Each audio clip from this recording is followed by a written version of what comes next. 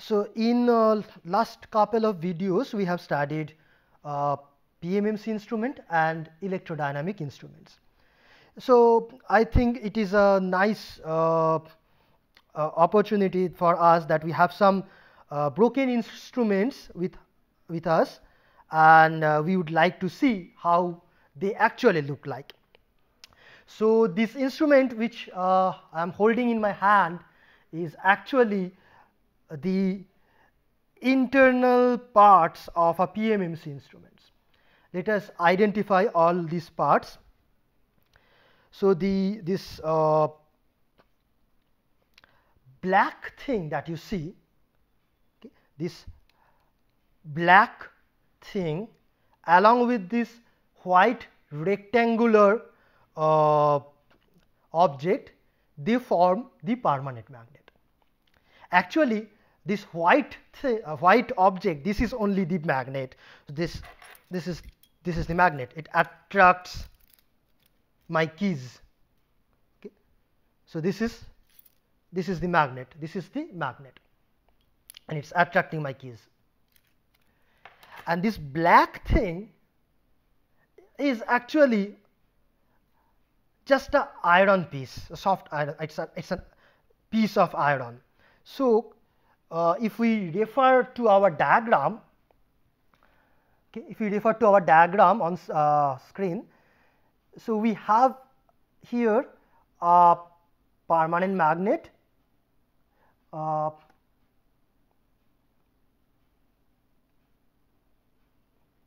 and then so this only this part is the magnet and this this part and this part are the black parts this is not the magnet, but this is only a iron uh, I mean it is a piece of iron which guides the flux lines from this magnet through this coil. So, it is it's a guide for the magnetic flux lines and the actual magnet is only here, but this acts as an extension to this magnet. Okay. So, this is the magnet. Now,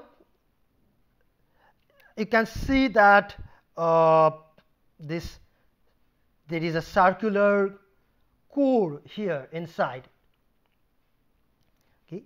So, we can see it from both sides. There is a core, circular core, black in color, which is held together with this outer uh, magnet through this uh, through these aluminum uh, strips which looks like a silvery object in on screen. So, that is the core and between the core and the magnet we have this coil. So, you can see the coil which is this, this there is a, so you can see it from this side. So, this is the coil okay, and it can turn you see? I can turn this coil inside the magnet. And this is turning alone. The core is not turning. Only the coil is turning okay? And this needle like thing which I am holding is a pointer which I haven't drawn uh, before, but let me now draw it. So, there is a pointer attached here a long pointer uh, attached to this coil. So, when this coil turns in either direction this pointer will also turn towards the left or right and we will have a scale with markings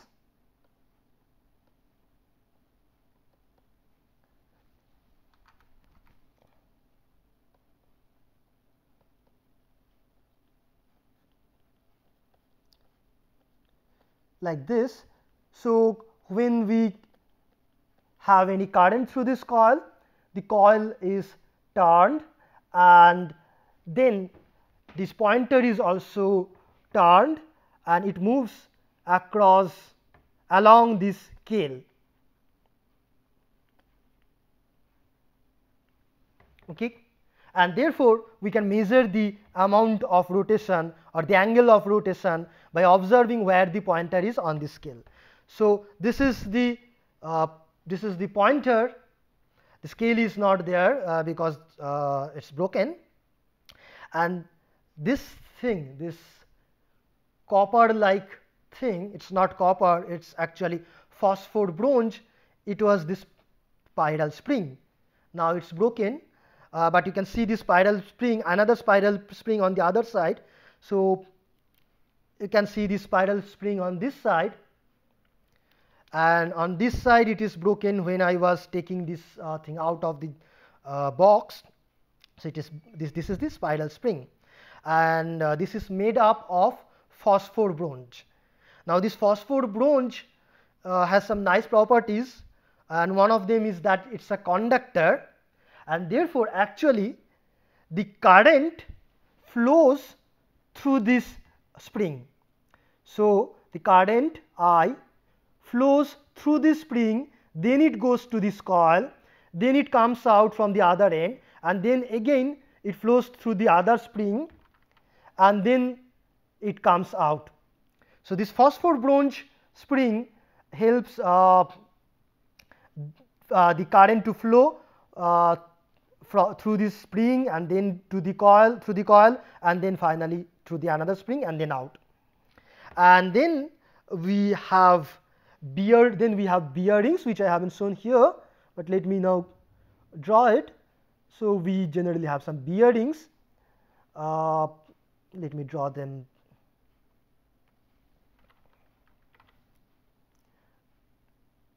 like this. So, we have generally jewel bearings with very little amount of frictions friction and this basically this is the shaft or the spindle or the axis of this coil which can rotate on top of this jewel bearing. Okay. So, that bearing is also uh, you can see it is here some sort of bearing is there. Okay. So, this is the PMMC instrument which we have uh, talked about. Now, let us look at uh, an electrodynamic instrument. Okay. So, we know that in an electrodynamic instrument the difference is that the permanent magnet this permanent magnet is replaced by electromagnets or solenoids coils. So, this is the internal parts of a electrodynamic instrument and here you can see uh, main three coils actually. So, th this is one coil. Okay. So, these are the turns. So, let us see from this side. So, this is one coil. So, these are the turns and these are the two ends of the coils. These white insulated things are the two ends of these coils. Okay. So, these are the turns of one coil. So, this is one of the fixed coil. Let me turn it now this side there is another fixed coil okay and these two are the two ends of this fixed coil and both these fixed coils are attached to the body or the frame of the instrument. So, these two coils cannot move. So, this dark brown or uh, this dark glossy uh, things are the fixed coils. So, let me show this in my diagram. So, here in this diagram these red coils which I have marked as fixed coils are these uh, dark brown things and then we have this moving coil. Uh, so, we have this moving coil which you see is is like sandwiched between the two fixed coils. It is placed between the two fixed coils. Now, let us find out this moving coil in my instrument. Okay. So, for that you have to look from this side and you see that there is another coil which I can rotate inside. You can see there is another coil which is rotating inside the two coils right. So, this is the moving coil which I am rotating with my right hand and the dark brown thing is the fixed coil which is not rotating. So, this brighter one and the smaller one smaller and brighter uh, coil is the moving coil and the darker bigger coils are the fixed coils. So, you can see it from the top as well. So, from the top you see that the moving coil can rotate inside the two fixed coils and this long needle like thing you can guess what it is this is the pointer. So, as this coil moves the pointer will move across a scale along along a scale and again this this is the spring which is broken okay this is the spring which was attached to the frame of the instrument and the spring tries to uh, hold this uh, moving coil at its normal position or tries to oppose uh, the motion of the uh, moving coil. Okay.